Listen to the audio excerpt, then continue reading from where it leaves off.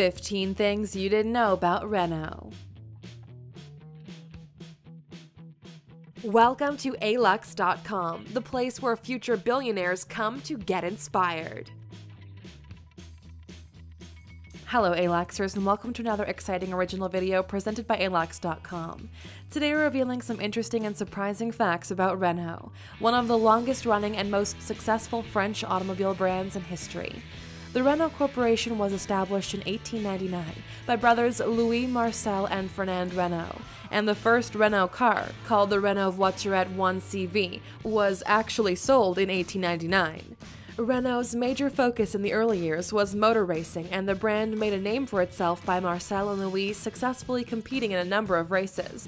However, after Marcel was tragically killed in the 1903 Paris Madrid race, Louis never raced again, although the Renault brand remained heavily involved in the sport. After the First and Second World War, Renault was owned by the French government, and it successfully expanded production with cars like the incredibly popular Renault 4. In 1996, Renault became a privatized company, although the French government still owns about 20%. In 1999, Renault and Nissan signed an alliance, with Renault taking a 36.8% share in Nissan. Renault has since acquired a 70% stake in the South Korean based Samsung Motors and a 25% share in Avtovaz, Russia's leading car manufacturer.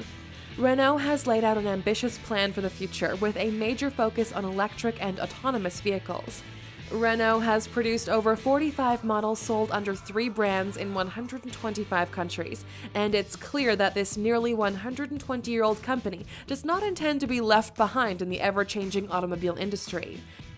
If you're new here, welcome. Be sure to subscribe and follow us on Instagram at ALUX. We are inspired by Renault's commitment to innovation, creative spirit, ambitious nature, and a long running history. So, let's take a closer look at this French car giant with these 15 things you didn't know about Renault. Number 1. Renault won the first ever Grand Prix. The race that is widely regarded as the first ever Grand Prix was held at Le Mans in 1906 a total of 32 cars competed in a 64 mile circuit broken into two days. Six laps completed in the first day, and the final six completed the following day. The winner of the race was driving a Renault AK90 CV. Number 2. The Renault Trésor was named the 2016 Concept Car of the Year. Renault's all electric supercar called the Trésor was introduced for the first time in September 2016 at the Paris Motor Show. In March of 2017, the car was named the 2016 Concept Car of the Year at the Geneva Motor Show. The Trésor is powered by two batteries located at the front and the rear of the car. There are hexagonal vents in the hood that move up and down as the air circulates, which gives the impression the car is breathing. It can go from 0 to 60 in just 4 seconds with 350 horsepower, and it can also drive in autonomous mode. Number 3. The Renault Clio is the best selling French car in automotive history. The Renault Clio was launched in 1990 and has consistently been one of the best selling cars in Europe ever since. It is the number one best selling car in France, with more than 13 million sold to date, and it's also the best selling French car in automotive history. Number 4. CEO Carlos Ghosn made over $17 million in salary back in 2016. Carlos Ghosn, the current chairman and CEO of Renault, is widely regarded as one of the most respected and hardest working executives in the automotive industry, and also is among the highest paid. Before stepping down as CEO of Nissan back in April of 2017, he was making $9.8 million a year there. He also earned $7.89 million as the CEO of Renault, and an undisclosed amount for being a chairman of the Mitsubishi Motors Corp.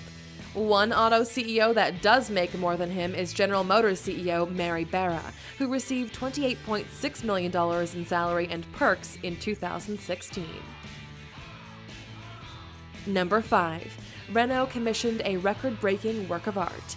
Anamorphic art is a form of art that distorts the perspective of the viewer to make objects appear to be in 3D when they are really just two dimensional. In 2013, Renault commissioned a 43,820 square feet anamorphic print that earned a Guinness World Record for largest artwork of its kind in the world.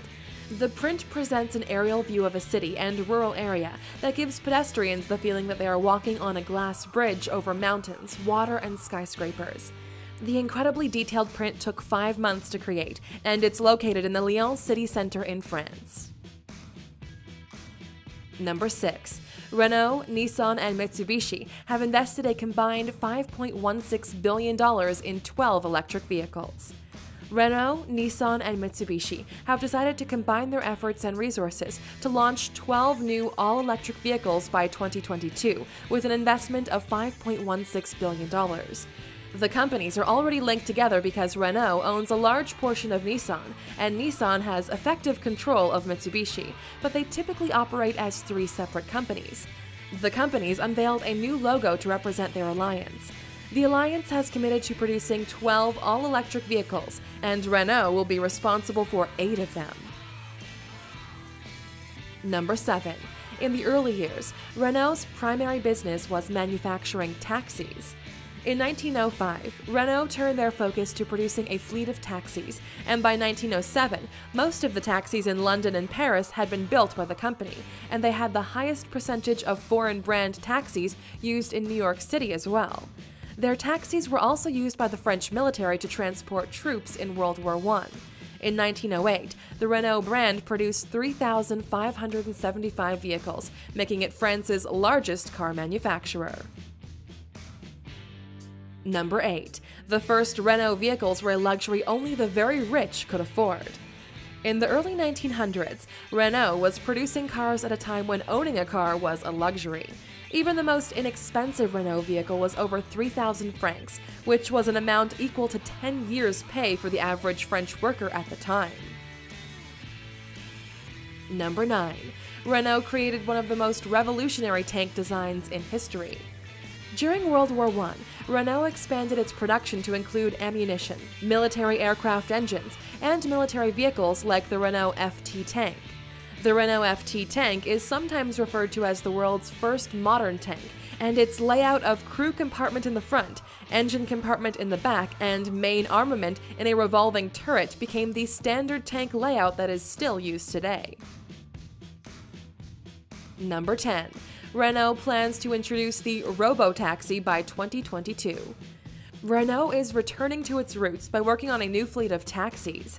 They plan to introduce their first self driving robo-taxi by 2022, with the ultimate goal to establish a driver free robo vehicle ride hailing service to compete with Uber. If you want to learn some interesting facts about the current most popular ride sharing service, click in the upper right hand corner to watch our video of 15 things you didn't know about Uber. Number 11. Renault's plant was one of the most heavily targeted areas during World War II. During World War II, Nazi forces took over Renault's factory, but Louis Renault refused to produce tanks for the Nazis. However, the factory did produce many trucks for the Nazis, which made it a target of the Allied forces. On March 3, 1942, the British Royal Air Force launched 235 low level bombers at the plant, which was the largest number aimed at a single target during the war. The plant was destroyed when 460 tons of bombs were dropped on the plant and its immediate surroundings. There were also many civilian casualties. Renault attempted to rebuild the factory, but it was bombed three more times by the American military.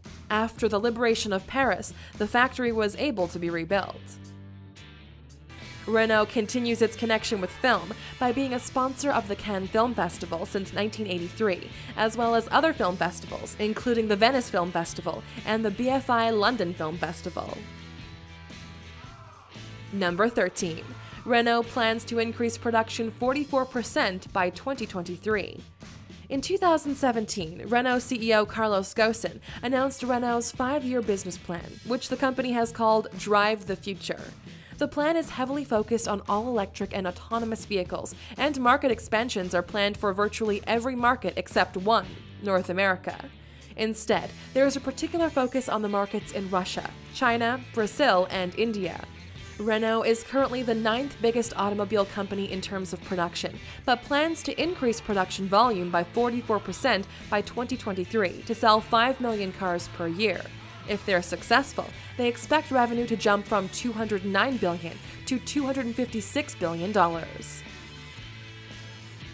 Number 14. Renault is designing a car that doubles as a spare room for your home. The concept car called the Symbios was introduced in September of 2017 at the Frankfurt Motor Show. The car's batteries are stored flat in its floor, and the car drives on its own, so the front seats can fully rotate so all occupants can interact face to face while traveling.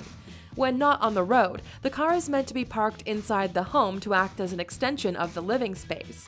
Renault has also introduced a concept house that demonstrated how the car could be lifted up by an elevator to the second floor or to the rooftop, where a glass sunroof could offer a full view of the sky. The home charges the car automatically, and the car is also able to supply electricity to the home. Renault says the car and home would work symbiotically to anticipate the needs of the owner. Renault hopes to make the concept available by 2030. Number 15.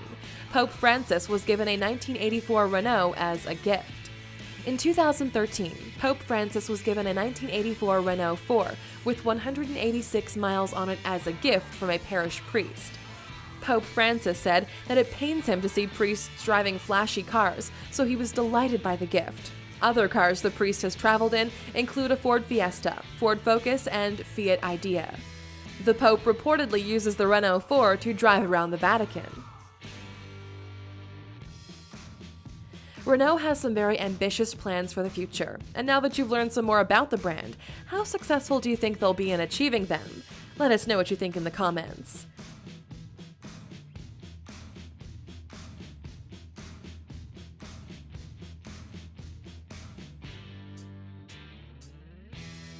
Still here? Here's a bonus fact just for you.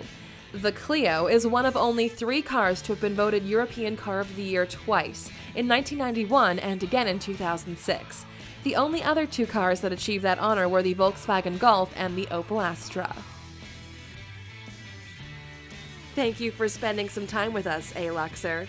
Make sure to subscribe so you never miss a video.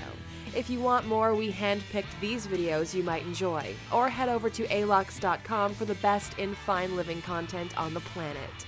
Be a part of the largest community of luxury enthusiasts in the world and tell your story.